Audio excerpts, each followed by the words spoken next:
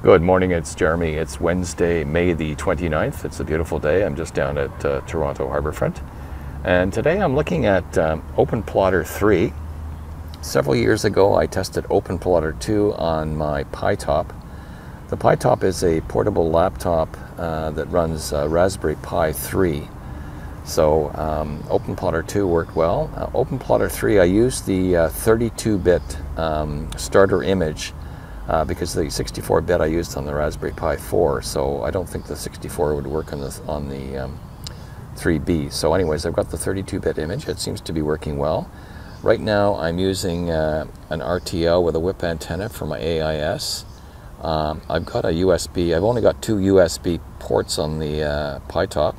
So I've got a USB hub here and I'm running a USB speaker so we can listen to GQRX and uh, there's my GPS. Uh, this is an old kit I made.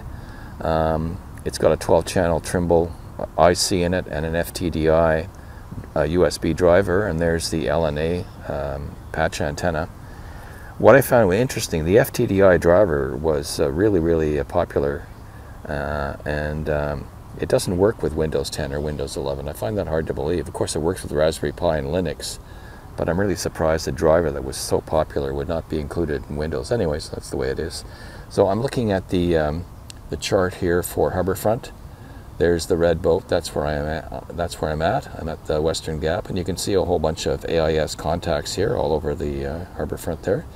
So everything's working pretty well. Um, I'm going to uh, disconnect um, the AIS. Right now, the AIS and the GPS are connected uh, to um, Signal K server. So I'm going to disconnect the AIS so I can use the RTL for GQRX and we're going to listen to marine weather, see how that comes in. The uh, Raspberry Pi 3B doesn't have the horsepower that the 4B does. So what I do with the GQRX is I cut back the sampling. Normally I run my sampling at 2.4 megasamples per second. But just not to overload the processor, I cut everything back to about 600 uh, kilosamples per second.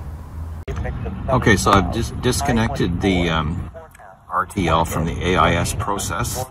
Um, so it doesn't show its signal K anymore. And now I'm using GQRX and I'm just listening to marine weather here on 162.4 megahertz. Wind becoming north, 20 kilometers per hour near noon.